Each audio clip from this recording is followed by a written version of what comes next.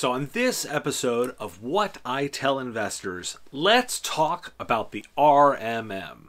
That's the remote monitoring and management software used by small to mid sized companies delivering IT services. Today, in this video, we're going to talk about what it is, why it's needed, what are the growth points, what types of devices can be managed, who are the major players, what is it expanded to include, what about Macs? What about the network? And a link into another piece, the PSA, or Professional Services Automation Tool.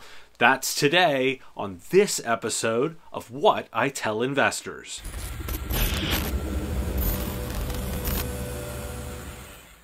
I'm going to start off with a definition. Let's define what this product is in order to understand the problem it solved. It's the remote monitoring and management technology. The problem we're trying to solve here is pre broadband being available. In order to service computers, you had to run around. You had to go out there and you had to service each machine by putting your physical hands on it and servicing it that way. As broadband became ubiquitous, the idea of remoting in and being able to fix something emerged. That's the idea you often see in screen shares and the ability to work with a remote technician.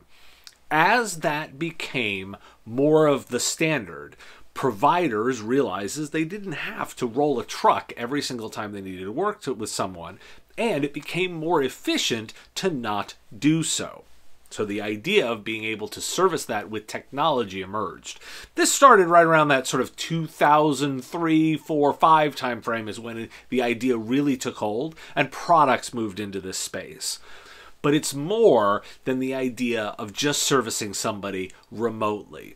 The idea was not only could we screen share with that individual person, but we could also start taking advantage of automation and the technologies built in to do things remotely. So it was the idea of full managing and moving into monitoring. Because not only could we do things to these machines remotely, but we could also monitor to make sure they were working the way they needed to.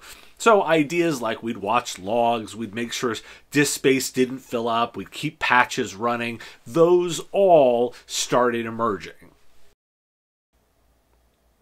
So why is it needed? Well, the idea is, is we're trying to convert the idea of being reactive, waiting for the user to call and say something's broken, into the idea of being proactive.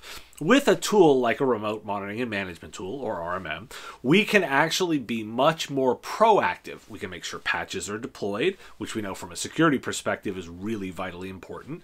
We can check to make sure things have happened, like backups, like software being deployed, and we can do those tasks remotely as well. And as we standardize our environment as the IT provider, we can deliver a cons- consistent service over time. That's actually the core uh, solution that we're trying to solve here is the ability to do that consistently over time. By doing that, we're able to then establish a core baseline for an end customer's computer environment and work from there. That's why it's become such a core piece of what a managed services provider does. I talked about managed services providers on my video, What I Tell Investors the Managed Services Market, and what we're serving there. This is the first of the tools that we often think about that's used in this space. So, the growth points. The reason this is such a core, interesting technology is the fact that it grows with its usage. If you're a managed services provider and you're delivering service, you grow every single time you bring on a new customer and you bring on a new user within a customer. So you've got those two growth points as the managed services provider themselves. The software vendor providing the RMM also gets the growth point of every single time they add a managed services provider themselves. So that's very interesting to think about because that way you're getting multiple levels of growth.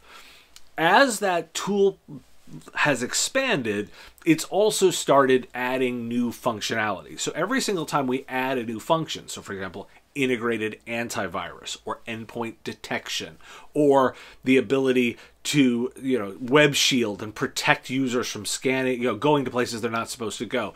Each of those additional features are also a growth point both for the managed services provider to sell new services as well as the software vendor to deliver more. And the more of these you can add, the more you get these growth points and start adding new customers, new users, new services, and you can see how quickly this core expands.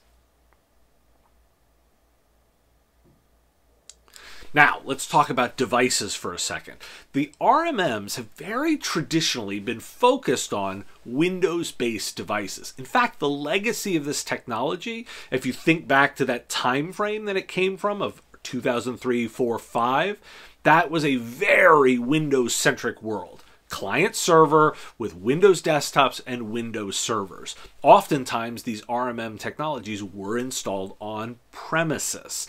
In fact, many of the legacy technologies still have that significant on prem installation component.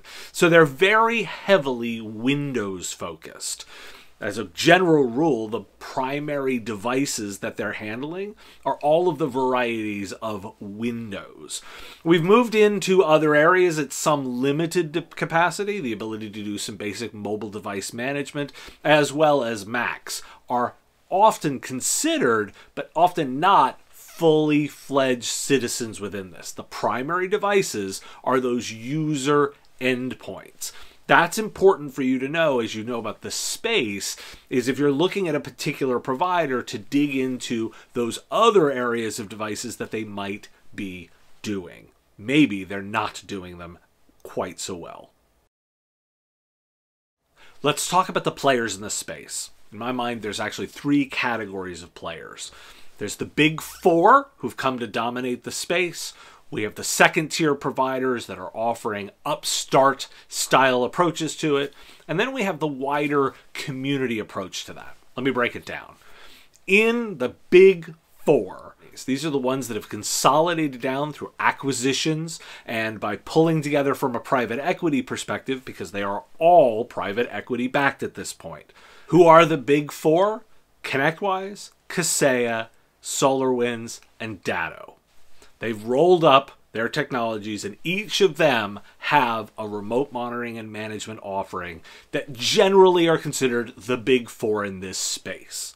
At your second tier, you have companies like Atera, Syncro, Ninja. These companies that are upstart at some level, they have a smaller user base, and they're positioning themselves either with a different approach to pricing or more agile software development plan or just a different uh, engagement to the community finally, you have a large swath of people that are trying other things from open source solutions to using enterprise technologies to cobbling things together on their own with lesser known products. You have this swath of opportunity out there of people that are trying different things. In fact, I'm tracking not one, but at least two open source projects of trying to create a fully open source version of the RMM technology. From my perspective, that is both a threat to the space, because it could, of course, go away, but also showing the opportunity and how vital these technologies are.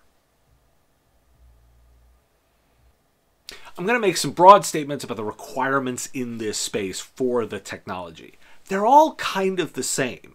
The MSP community goes to a lot of effort to try and compare and contrast between them. And in fact, there's an open source effort, community driven, to create a spreadsheet of all the features and list all of what's going on. And this has sprung up multiple different times with comparisons. But ultimately, they're actually all kind of the same. They deliver about the same solution at roughly the same price point, particularly because you can negotiate the pricing. And they all do about the same thing. If I was advising any MSP, I'd say buying any of them is fine. You're buying essentially the same thing. There are certain drawbacks, there are certain upsides to different ones, but ultimately, for 80 90% of the functionality, you're getting about the same thing. So it's important to know that when you look at this space, knowing it has become mature, particularly based on its legacy. We've been at this for about 15 years or more. What's it expanded into? Now, one of the things about the RMM is that it is such a core foundational technology that we've added pieces around it. Systems like documentation management, email security, all of the various add ons that have happened here, they've all expanded the use. Each of these companies is trying to push outward, particularly because you can think about the way they bill. Based on my earlier statements about billing, the more that they can charge and take out to the market, the better better they can do. So that's actually a real benefit. Each of them is looking to bring something to market. Their strategy, particularly for the big four, is to acquire that. I've made some comments on why I think this is bad from an investor's perspective because it's not necessarily growing the market, but that is the way they're doing it from a revenue roll up perspective. So each one of them is looking to buy something new and add it to their portfolio to cross sell it to their existing customers. Additionally, there is the opportunity for them to sell themselves as an integration point, meaning because it is such a fundamental piece in the way that a managed services provider goes about running their business from an operational perspective and dealing with their end customers. If you plug into the RMM with your own technology, you become more easily consumed by those managed services providers. So they've become a platform to go into other services for the ancillary vendors surrounding them. Now, I want to take on the Mac question directly. All of these providers have a Mac offering, and I can broadly say it's not great. They've not truly embraced the time and energy to build out truly great Mac solutions. In fact, there's another space with companies like Jamf and Addigy that are specifically focused on this solution for the Mac space. Whereas those solutions completely ignore Windows, I can safely sort of say they don't ignore the Mac from this perspective, but they're not great at it. You can argue whether or not that's a really good thing or a bad thing from a market share perspective, but there is no one single solution that is best in class in both categories, and it's worth calling out specifically as you consider this market. Now, let's address the network too. All of these products have functionality for looking at network devices like SNMP monitoring, ping scanning, that kind of stuff. But there's a subcategory of vendors that have spent their time focusing specifically on network management technologies. Areas like being able to look at those printers, look at those network switches, be able to find Internet of Things devices. That's kind of a subcategory. Each of these products do try and have their own offerings. They're often augmented by companies like Auvik and Domotz, who are also looking at this, at delivering services in their space. They work together to do some integrations, but they have not truly embraced the larger network to manage every single device. This is also true as the gaping hole of cloud management. These, these technologies have not looked at engaging with those cloud services from my perspective, that's the big next opportunity that I think they're going to miss out on. I've got lots of other material that digs into this, but from a cloud perspective, they're not doing much more than what could traditionally be done with their agents. So, for example, if I have a Windows virtual machine living up in the desk in the in the cloud, or I have a virtual desktop, I can install their agents and still manage them like endpoints, but I can't necessarily get full visibility into the Azure stack, the GCP stack, into AWS AWS, that's not the solutions that these technologies are focused on. Now let's address the professional services automation or PSA. If you're looking at this from an investment perspective, you've probably heard a lot of talk. I'm doing a separate video on PSA, so if you'd like to understand that. But the two have come together to be very closely aligned, although they solve different problems. The RMM, as we've talked about, solves those endpoint management problems for your end customers. The PSA is what you run your business on ticket management, invoice management, relationship management, all of the bits that a managed services provider will run their own business on. That's done in the professional services automation. Now you can see this, the two fit together very closely. If you're tracking tickets, you want to link that to the work that you're doing with those endpoint management. That's where the two have come together. all four of the big four have got an offering in PSA and have tried to bring those technologies together. In fact, in some cases, particularly like a ConnectWise, started with the PSA and acquired an RMM technology, whereas a company like Datto started as a backup company and then acqui- acquired Autotask and brought those technologies in, or a SolarWinds that started as an RMM technology companies rolled those two together and part of their acquisition strategy was to buy a PSA. But at this point, they all have one. I'll dive into PSA more specifically in a separate video, but I wanted you to understand that the two have come together to be part of that. In fact, a company like a Syncro is approaching this as one single integrated product and trying to keep that binding from day one. The two are closely aligned, although with many of these legacy technologies, they are not necessarily the same product. And most importantly, from an investment perspective, they have different growth trajectories. A PSA, as you may have learned in my managed services market video, the difference between a sell to and a sell through, a PSA is a sell to product, where a RMM is a sell through product and has that larger, expansive growth piece. There's an argument to be made about stickiness on the PSA. We'll cover that in the PSA video.